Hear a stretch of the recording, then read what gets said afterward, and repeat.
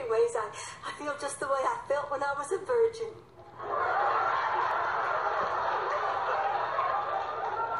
You mean the feeling isn't going to last long?